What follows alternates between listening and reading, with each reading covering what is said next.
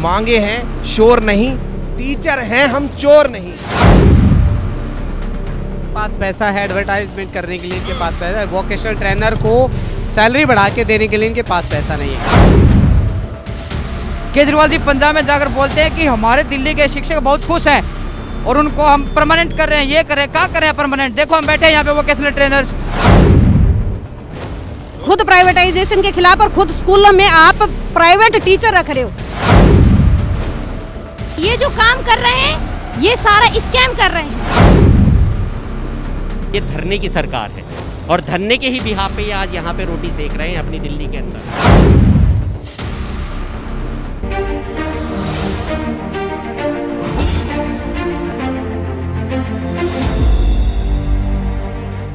नमस्कार, आप देख रहे हैं कैपिटल टीवी और मैं हूँ युधिष्ठिर उपाध्याय। इस वक्त मौजूद हूँ मैं दिल्ली के सिविल लाइन मेट्रो स्टेशन के पास, जहाँ पर वोकेशनल ट्रेनर्स जो हैं, वो धरना कर रहे हैं केजरीवाल सरकार के खिलाफ। इनकी कुछ मांगे हैं, जो सात साल से लगातार मांग करते हुए आ रहे हैं। आप देख सकते हैं, इस पर लिखा हुआ है, skill education world class, skill teacher payload class. मतलब यानी कि ये चाहते हैं कि जो इनको पैसा दिया जा रहा है, वेतन दिया जा रहा है, वो बहुत कम है इनके अनुसार। क्या कुछ इनकी मांगे हैं? चलिए सीधे लोगों के बीच चलता हूँ इनसे जानने की कोशिश करता हूँ। क्या नाम है आपका?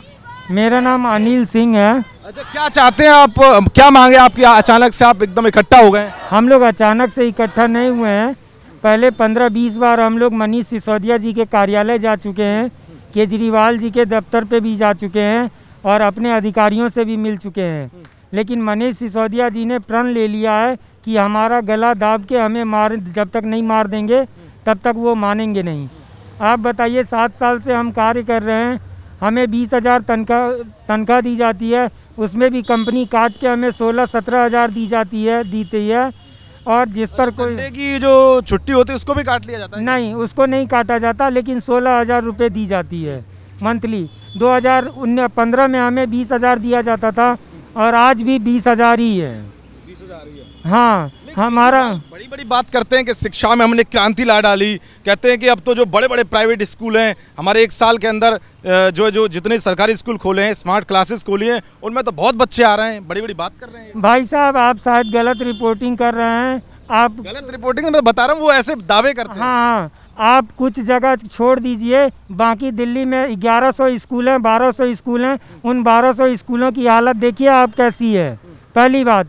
दूसरी बात जिस स्किल यूनिवर्सिटी के नाम पे ये अन्य राज्यों में अपना झंडा गाड़ रहे हैं उसी वोकेशनल ट्रेनर जो स्किल एजुकेशन देते हैं बच्चों को और जिसके लिए जिसके दम पे इन्होंने बिज़नेस ब्लास्टर बनाया है उसी वोकेशनल ट्रेनरों को ये सोलह हज़ार पंद्रह हज़ार पे रखे हुए हैं। क्या नाम है आपका?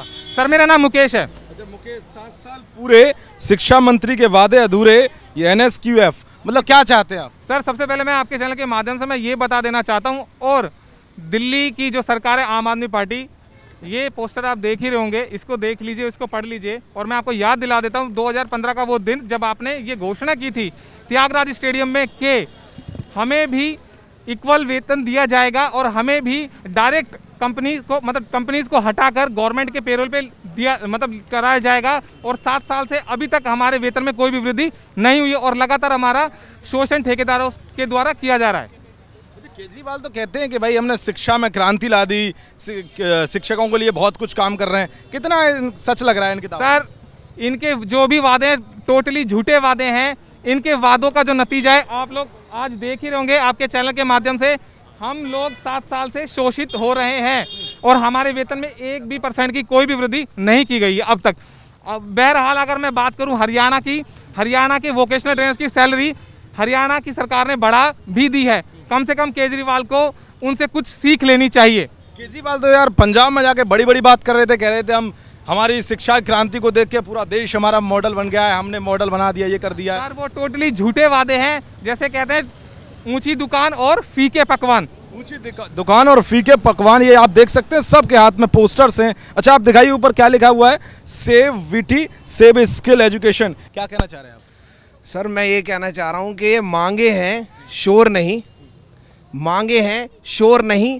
टीचर हैं हम चोर नहीं। मांगे हैं शोर नहीं। हम टीचर हैं चोर नहीं। एक बार और बताइए। ये मांगे हैं कोई शोर नहीं। हम टीचर हैं हम चोर नहीं।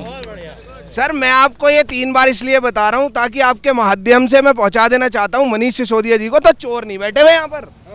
ये चोर नहीं है, सर। ये यहाँ पर अपनी मांगे अपना हक लेने के लिए बैठे हुए हैं। ठीक है ना? सबसे बड़ी बात यहाँ पर ये है कि सात दिन आज हो गए हैं, इनमें से कोई एक नेता, कोई एक नेता यहाँ पर ये पूछने के लिए नहीं आया है कि भाई, तुम्हारे दिल का हाल क्या है? ये चाल है, ये पाल है। मैं क्या बताऊँ, ये मेरे दिल का हाल है? हालात आप देख रहे हैं। हालात आप ये देखिए तीन चार दिन से बच्चे आ रहे हैं यहाँ पर छोटे छोटे से। उन छोटे छोटे से बच्चों को ये चैनल के माध्यम से हम लोगों ने वहाँ तक तस्वीरें तक पहुँचा दी। ट्वीट कर रहे हैं हज़ार हज़ार डेली। मुझे समझ नहीं आ रहा कि ये सो रहे हैं क्या कर रहे हैं। आज भी तीन स्कूलों में होके आए हैं वो। मैं नाम बता देता हूँ आपको कौन कौन से स्कूल में होके आए हैं वो। उनको इतना टाइम नहीं है कि वो यहाँ पर अपने पीछे आ जाए सिविल लाइन के। अच्छा आसपास घूमते लेकिन यहाँ नहीं आते? अरे पूरी दिल्ली के अंदर जहाँ जहाँ स्कूलों के अंदर विज़िट होती है उनकी रोज जाते हैं वो। आप पूछिए सर से। तो आपकी कितनी संख्या है? लगभग कितने लोग हैं आप वोकेशनल ट्रेनर सर, यहाँ पर साढ़े सात सौ से आठ सौ ट्रेनर्स हैं, जिनमें से यहाँ पर ढाई सौ, तीन सौ ट्रेनर आज आपको मिले थे। ठीक है ना? उसके अलावा और ट्रेनर्स जो हैं, वो वो ट्विटर के माध्यम से सारे काम कर रहे हैं। लोगों को पता है कि भाई हालात कितने बुरे गुजर रहे हैं। आपको लगता है, सर, सोलह हज़ार की सैलरी में किसी का इंश्योरेंस होगा? किसी का हेल्थ इंश्योरेंस होगा? अभी बच्चा बीमार पड़ जाए ना तो मर जाएगा बच्चा। आप बचा नहीं सकते उस बच्चे को।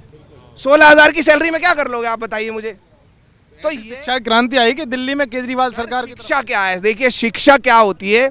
यहाँ पर ये एक अब सिर्फ़ ढकोसला बना के डाल दिया दिल्ली के अंदर मैं बताऊँ आपको। Education is the tool to survive the better life ये हमने बचपन से पढ़ा है और सीखा है। बट यहाँ पर इस सिचुएशन में जो अभी हम हमारे साथ गुजर रही है जहाँ पर हम सिर्फ़ बीस हज़ार की नौकरी में सोलह से सत्रह हज़ार रुपये पाते हैं वहाँ पर डेढ़ डेढ़ लाख रुपए सैलरी बाहर जो है यहाँ से यहाँ से बाहर अगर आप जाएँगे ना प्राइवेट सेक्टर में वहाँ कमा रहे हैं लड़के और लड़कियाँ। कॉर्पोरेट लेवल पे यहाँ पर सोलह सोलह हज़ार की जॉबों को और ये कहते हैं कि हम फ्यूचर बनाएँगे। भाई कैसे बना लोगे यार आप फ्यूचर मांग कैसे पूरी होगी सर सबसे पहले तो ये बता देना चाहता हूँ आपके चैनल के माध्यम से। सर जो स्किल्स इंडिया का जो प्रोग्राम है मैंने पहले भी ये बात कही है दूसरे चैनल के माध्यम से और आज फिर बता देना चाहता हूँ। जो हमारे स्कूल्स में एक नाइन्थ क्लास का बच्चा जो ये नहीं जानता था सर स्किल्स होता क्या है। तो उनके अंदर जो एक स्किल्स है, चाहे वो टूरिज़्म का स्किल्स हो सर चाहे वो रिटेल का स्किल हो, चाहे वो आईटी का स्किल्स हो ब्यूटी एंड वेलनेस का स्किल्स हो, उन बच्चों के अंदर स्किल्स मैं आपके चैनल से पूछना चाहता हूँ, उन लोगों से जो स्किल्स इंडिया के नाम से अपनी रोटी सेक रहे हैं। तो मैं उनसे पूछना चाहता हूँ कि उनके अंदर वो स्किल्स पैदा कौन करता है? सर, हमने इतने लाखों रुपया खर्च करके एक बड़ी प्राइवेट यूनिवर्सिटी से हम लोग मास्टर्स करके आए हैं और हम यहाँ पे चौदह हज़ार रुपये की और सोलह हज़ार रुपये की सैलरी पे हम लोग यहाँ पे रोज़ कम्यूट कर रहे हैं यहाँ से। और कितने लोग यहाँ पे ट्रेनर ऐसे हैं जो हरियाणा से यहाँ पे डेली कम्यूट करते हैं, यानी कितने ट्रेनर यहाँ पे ऐसे हैं जो यूपी से ट्रेनर करते हैं, यहाँ पे रह रहे हैं दिल्ली में और आठ आठ, दस दस हज़ार रुपये के रूम रेंट दे रहे हैं हम लोग मंथली सर। तो ये जो स्किल्स इंडिया का ये जो प्रोजेक्ट ये चला रहे हैं, इसके पीछे उनके अंदर स्किल्स को पैदा करने का जो हुनर पैदा हम कर रहे हैं वो हम लोग हैं सर। और हमें यहाँ पे बिल्कुल भी सर अप्रिशिएशन नहीं मिल रहा चाहे वो दिल्ली सरकार हो चाहे वो स्कूल्स हो और हमें धमकियाँ ये मिलती है कि आपकी नौकरी चली जाएगी। हमें ये ये धमकियाँ मिलती है सर। चाहे वो प्रिंसिपल हो चाहे वो कोऑर्डिनेटर हो कोई भी हो सर उनके माध्यम से हमें ये मिलती है अगर आप धरने में जाओगे और इसके खिलाफ आप आवाज़ उठाओगे तो आपको डेफिनेटली आपको कंपनी से निकाल जाएगा। केजरीवाल सरकार ये केजरीवाल साहब जो नटवर लाल हैं किसान आंदोलन में जा सकते हैं खुला समर्थन दे सकते हैं लेकिन धमकी दिलवा रहे हैं कि नौकरी चली जाए ऐसे कैसे हो जाएगा? सर मैं ये भी बता तंत्र है यहाँ केजरीवाल सरकार की ऐसे थोड़ी चल डेफिनेटली सर मैं ये भी बता देना चाहता हूँ आपके चैनल के माध्यम से। आप मुझे बताइएगा आपको सबको पता है ये धरने की सरकार है। और धरने के ही बिहा पे आज यहाँ पे रोटी सेक रहे हैं अपनी दिल्ली के अंदर। आपको सबको पता है सर और सर अगर हम अपनी मांगों को लेकर अगर यहाँ पर हम धरना दे रहे हैं तो आप बताइए सर हमारी गलती क्या है बताए आप हमें। बिल्कुल अपनी मांग रखने के लिए डेफिनेटली धरना कर सकते हैं। और आर्टिकल 19 के तहत सर कोई भी सर हम किसी भी तरह से हम अपना धरने को रख सकते हैं अपनी मांग को सरकार से पूछ सकते हैं। आर्टिकल 19 हमें इजाज़त देता है इस बात की सर। क्या नाम है आपका मैडम? जी सर मेरा नाम कमलेश सिहाग है। अच्छा क्या मांग है आप जी सर मांग से पहले मैं हमारा मुद्दा ही रखना चाहूँगी। जो क्योंकि आ, म, आम जनता तक हमारा मुद्दा ही सही तरीके से नहीं जा रहा। 2013 से पहले पुरानी वोकेशनल एजुकेशन चलती थी, जिसमें क्या था कि सिलाई, कढ़ाई और ये सारे सब्जेक्ट थे, जिसको उनका स्कोप कम देखते हुए गवर्नमेंट ने सेंट्रल गवर्नमेंट ने नई एजुकेशन वोकेशनल एजुकेशन पॉलिसी निकाली, जिसमें नए ट्रेड इंक्लूड किए गए, जो आज के इन्वायरमेंट को देखते हुए आईटी और ये सब सब्जेक्ट अब इसमें क्या हुआ सर कि इसमें सेंट्रल गवर्नमेंट ने इनको चॉइस दी गई थी स्टेट गवर्नमेंट को कि आप चाहो तो डायरेक्ट डिपार्टमेंट के थ्रू ले सकते हो आप चाहो तो आप कंपनियों को इन्वॉल्व कर सकते हो। अब पहले क्या हुआ था, जब दिल्ली में इम्प्लीमेंट हुआ था, ये 2014-15 में दो हज़ार चौदह पंद्रह सेशन में, तब बाईस स्कूलों में डायरेक्ट लिए गए थे। डायरेक्ट उसमें बीटीपी जो कंपनियाँ नहीं थी वोकेशनल ब्रांच बीटीपी कंपनी बनी थी। अब सेम सेम आसाम में भी ऐसे हुआ था। अब आसाम गवर्नमेंट ने क्या किया, उसके बाद दिल्ली में 205 स्कूलों में इंक्लूड किया गया। पच्चीस हज़ार सैलरी थी मेरी स्टेटमेंट रिकॉर्ड की जाए, सर। सर्कुलर में 2016 और 17 तक के सर्कुलर में 2000 जो बीटीज है, उनकी सैलरी पच्चीस हज़ार आ रही थी। पच्चीस हज़ार सर्कुलर में एजुकेशन डिपार्टमेंट के सर्कुलर जिसमें पच्चीस हज़ार के हिसाब से रिक्रूटमेंट हुई थी। फिर उसके बाद में क्या किया, दो दो, जो दो सौ पाँच स्कूल थे, उनको कंपनियों को कॉन्ट्रैक्ट दिए गए। जब खुद केजरीवाल जी कंपनियों के अगेंस्ट है प्राइवेटाइजेशन के अगेंस्ट है, वो स्कूलों में प्राइवेटाइजेशन कैसे कर रहे हैं? पहली बात हो दूसरी बात, यहाँ इनका दो दो रूप देखिए आप। खुद प्राइवेटाइजेशन के खिलाफ और खुद स्कूल में आप प्राइवेट टीचर रख रहे हो। जिनका क्या सिलेक्शन प्रोसीजर सेम और जो टीचर है उनकी तरह हुआ था। अब ये डिपार्टमेंट कह रहा है कि हमारी फ़ाइल इनकी फ़ाइल गुम है। तो ये बताइए ना सर करप्शन हुआ होगा कहीं तो वो फ़ाइल कैसे गुम होगी? अब डिपार्टमेंट सर्कुलर निकाल रहा है कि कहते कि हम भ्रष्टाचार करते नहीं इसके खिलाफ हैं। भ्रष्टाचार का तो ये खुद ही देख लो ना सर जब 2017 16 कसम खा के आए थे कि मुझे कुछ नहीं चाहिए। हाँ तो क्या नहीं चाहिए सर? मार्केटिंग करने से कोई एजुकेशन वर्ल्ड क्लास नहीं हो जाती। आप हैप्पीनेस ला के कोई टीचर्स के हैप्पी नहीं कर रहे नहीं आप बच्चों को हैप्पी कर रहे हो आप उसका बर्डन बढ़ा रहे हो। सारे रोल आपके पास है लेकिन सैलरी बहुत कम है। हाँ जी सर जो हमारी जो आप सरकार है उनसे इतनी बड़ी चूक है ये शिक्षा विभाग में वो कहते हैं कि हम भ्रष्टाचार नहीं करते। पर जिस मॉडल को लेके वो आगे चल रहे हैं जिससे उनकी सरकार बनी सबसे बड़ा भ्रष्टाचार उनका वहीं पर हो रहा है। वोकेशनल ट्रेनर इसका सबसे बड़ा प्रमाण है। जो यहाँ पर बैठे हुए हैं ये सारे हाईली क्वालिफाइड हैं। B tech M tech M C M B A वाले स्टूडेंट हैं सारे। ये कॉर्पोरेट में होते तो आज इससे ज़्यादा इंक्रीजमेंट उनका हो रहा होता। सात साल में कोई भी कंपनी ऐसी होती इंक्रीजमेंट नहीं करती। इनको झांसा देते गए कि हम कर देंगे कर देंगे। 2021 में बोला था कि कर देंगे बढ़ा देंगे इन्होंने आउटसोर्स के थ्रू इनको वो किया। अगर कोई किसी ने आवाज़ उठाई तो उसे बाहर निकाल दिया गया। और जब फ़ाइल आगे भेजी जाती है तो ये बहाना करते हैं कि फ़ाइल गुम हो गई है। आप हमारे हाथ में इन हैंड सोलह हज़ार दे रहे हैं। बाकी का पैसा E F P F E S I के नाम पर आप एक स्कैम कर रहे हैं। कहते हैं सरकार की 25 प्रतिशत। हम 25 प्रतिशत अपना एजुकेशन फंड हम सिर्फ़ एजुकेशन में खर्च कर रहे हैं। तो क्या वो 25 प्रतिशत यहाँ पे खर्च हो रहा है? क्या हम वो डिजर्व कर रहे हैं? हमारी जगह पर, हमारे ही प्लेटफॉर्म पर दूसरा ओल्ड पीटीवीटी जो है, हमसे तीन गुना ज़्यादा ले रहा है। सारे मुझे बताइए स्मार्ट क्लास की बात करते अभी कह रहे थे अभी उन्होंने फीता काटने पहुँचे थे और कह रहे थे कि हमने बारह हज़ार से ज़्यादा स्मार्ट क्लासेस बनाई हैं। बहुत अच्छा काम कर रहे हैं हम। इन ये जो काम कर रहे हैं ये सारा स्कैम कर रहे हैं। और थर्टी फ़र्स्ट को हमारा कॉन्ट्रैक्ट खत्म हो रहा है। इनके अंदर भी ये डर है कि हमारी नौकरी रहेगी कि नहीं रहेगी। क्या सोलह हज़ार की तनख्वाह में दिल्ली जैसी जगह पर सरवाइव करना पॉसिबल है? सात साल में इनके बीवी बच्चे इनका परिवार बढ़ गया इनकी जिम्मेदारियाँ बढ़ गई हैं। केजरीवाल कहते हैं कि हम तो शिक्षा के मामले में बहुत आगे हैं हम सबको नौकरी दे रहे हैं ये कर रहे हैं वो कर रहे हैं। शिक्षा के मामले में भ्रष्टाचार हो रहा है।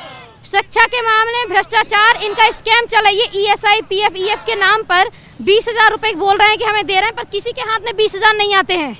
सोलह हज़ार रुपए इनके इन हैंड आ रहे हैं। कहाँ जाकर थमेगी आपकी मांग? हमारी मांग देखो जिस दिन केजरीवाल जी हमारी मांगों को मान लेंगे हमारी मांग उसी दिन रुक जाएगी। ठीक है सर?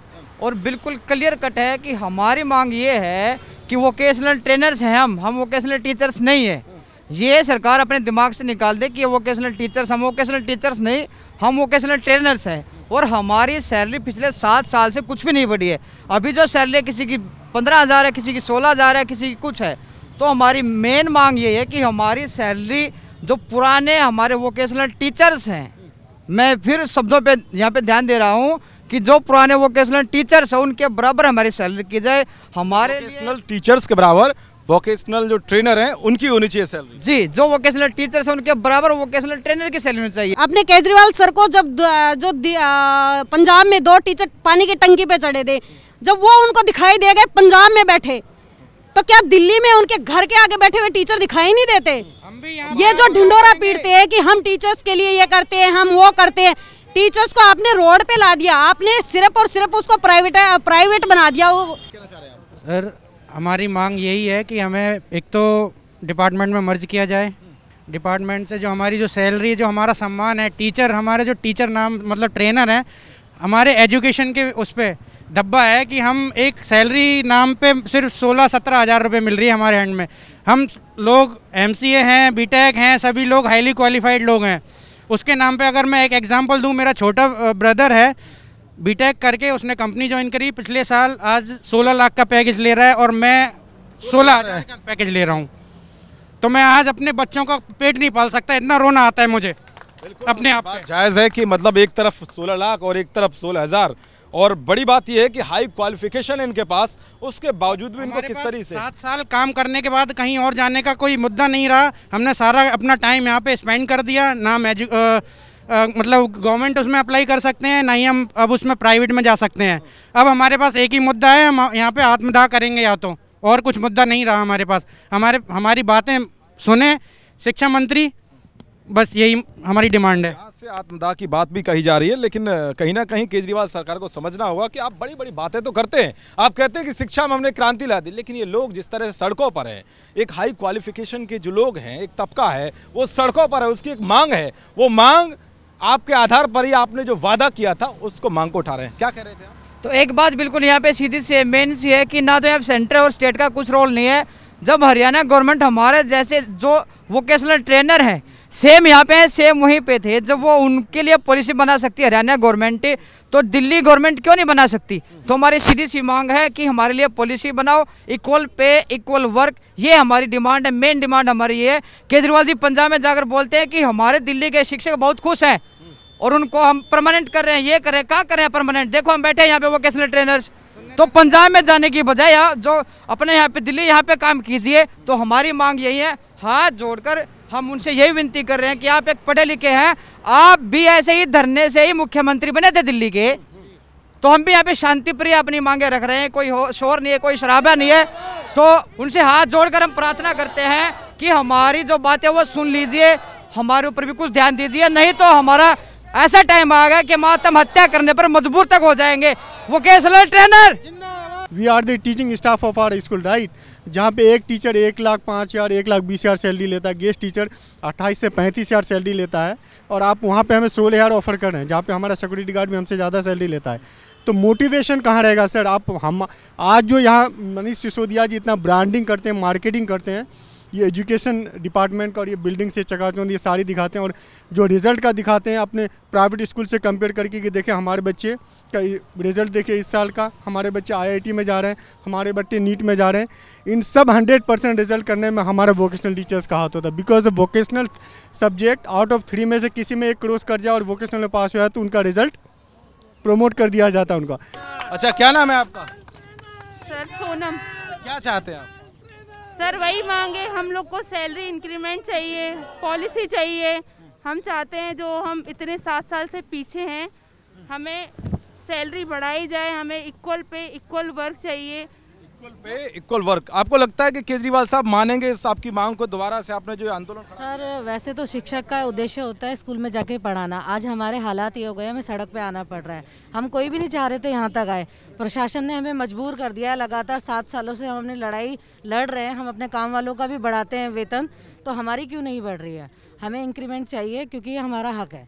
हम शिक्षा दे रहे हैं तो और इंक्रीमेंट होना चाहिए। आप क्या कहना चाहेंगे? सर यही कहना चाहेंगे कि हमें मजबूर किया गया है रोडों पर आने के लिए। रोड पर लाने के लिए मजबूर कर दिया केजरीवाल जी सर। बड़े बड़े वादे और दावे कहाँ हैं ये? हम अपने बच्चों के लिए आकर के बैठे हुए हैं सर। छोटे छोटे बीजेपी वाले धरने देते हैं जो बीजेपी के अगेंस्ट उधर जाके तो ये बात रखते हैं उनका साथ देते हैं लेकिन जब इन्हीं के लिए जब धरना दिया जाता है तो बिल्कुल इनके कान में जू तक नहीं रहेंगे। बिल्कुल बड़ी बात है ये जब बीजेपी के खिलाफ धरना होता है तो केजरीवाल साहब हाथ खड़े करके किसान आंदोलन को दे देंगे समर्थन। लेकिन जब इनकी पोल खुलती है और इनके खिलाफ जब धरना होता है वहाँ ये आते भी नहीं है। इन्हें पता है सिलेक्टिव लोग हैं। अच्छा। है जी? दूसरे स्टेट में जाने पर है अपने स्टेट का तो भला करें पंजाब में कह रहे हैं कि हम कर देंगे गेस्ट टीचर्स को वोकेशनल ट्रेनर्स को अच्छे तरीके से दिल्ली में आने में खर्चे इतने बढ़ गए हैं सोलह सत्रह हज़ार में कुछ नहीं हो रहा आज इनके पास पैसा है एडवर्टाइजमेंट करने के लिए इनके पास पैसा है वोकेशनल ट्रेनर को सैलरी बढ़ा के देने के लिए इनके पास पैसा नहीं है। इनके एम के लिए सैलरी बढ़ाने के लिए पैसा है लेकिन वोकेशनल ट्रेनर्स के लिए बढ़ाने के लिए पैसा नहीं है। दुनिया भर का लाखों का करोड़ों का। कहने का मतलब ये चेहरा चमका सकते हैं केजरीवाल और ये जो लोग बैठे हैं इनके तरफ़ ध्यान नहीं देंगे। ध्यान देना होगा तो दोगलापंथी नहीं चलेगी क्योंकि हर किसी का राइट है कि वो अपनी बात बोलिए क्या कहना मैं एक बात और आपके चैनल के माध्यम से ये कहना चाहूँगा भाई हम डटे हैं और डटे रहेंगे जब तक हमारी मांग पूरी नहीं होती चाहे हमें इसके लिए अपने प्राणों की आहुति भी क्यों ना देनी पड़े हम अपनी मांगे लेके ही उठेंगे। हम यहाँ तक भर चुके हैं हम यहाँ तक भर चुके हैं क्योंकि कभी भी एक शिक्षक की परिभाषा में ये शब्द नहीं आते कि वो किसी का विद्रोह करे लेकिन विद्रोह और अन्याय सहना भी उसके लिए महापाप होता है।